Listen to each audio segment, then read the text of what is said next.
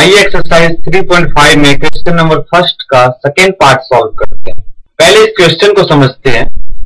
इस क्वेश्चन में हमें इन दिए गए पेयर ऑफ़ लीनियर इक्वेशंस का सॉल्यूशन चेक करना है कि उनका सॉल्यूशन यूनिक होगा या फिर नो सॉल्यूशन होंगे या फिर इन्फिनेटली मेनी सॉल्यूशंस होंगे। इन केस अगर उनका सॉल्यूशन यूनिक होता है तो हमें उनका सॉल्यूशन क्रॉस मल्टीप्लीकेशन मेथड से निकलना होगा।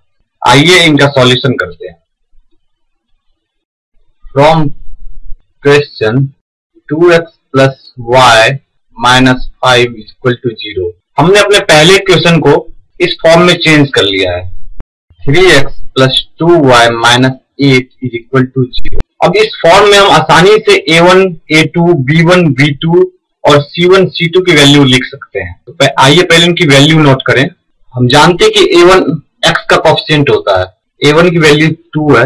A two is equal to three b one is equal to one b two is equal to two c one is equal to minus five और c two is equal to minus eight now a one upon a two is equal to two upon three b one upon b two is equal to one upon two and C1 upon C2 is equal to minus five upon minus eight minus minus cancel c one upon c two is equal to five upon eight हम देख सकते हैं कि a one upon a two b one upon b two और c one upon c two आपस में equal नहीं है। So a one upon a two is not equal to b one upon b two is not equal to C one upon c two pair of equations have unique solution. हम जानते हैं कि जब a1 upon a two b one upon b two और c one upon c two आपस में equal नहीं होंगे तो उन पेयर ऑफ़ इक्वेशंस का सॉल्यूशन यूनिक होगा। आइए अब इनका सॉल्यूशन निकालते हैं। क्वेश्चन में दिया हुआ है कि हमें इनका सॉल्यूशन क्रॉस मल्टीप्लिकेशन मेथड से करना है। क्रॉस मल्टीप्लिकेशन के लिए जो जनरल फॉर्मूला होता है, पहले वो फॉर्मूला लिखते हैं x upon b one c two minus b two c one is equal to y upon c one a two minus c two a one is equal to one upon a one b two minus a two b one put the value of a1 a2 b1 b2 c1 and c2 in above formula. हम इस general फॉर्मूले में सारी value put करेंगे।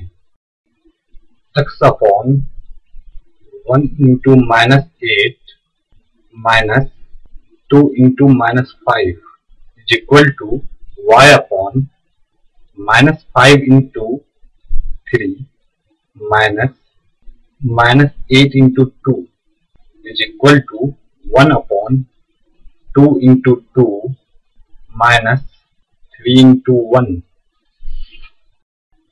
a1 is equal to 2 a2 is equal to 3 b1 is equal to 1 b2 is equal to 2 c1 is equal to minus 5 C2 is equal to minus 8. x upon minus 8 plus 10 is equal to y upon minus 15 plus 16 is equal to 1 upon 4 minus 3. x by 2 is equal to y by 1 is equal to 1 upon 1. हम देख सकते हैं कि x upon 2 is equal to y upon 1 is equal to one upon one ये तीनों term आपस में बराबर है so X upon two is equal to one X is equal to two इसी तरह, y upon one is equal to one y is equal to one therefore X is equal to two and y is equal to 1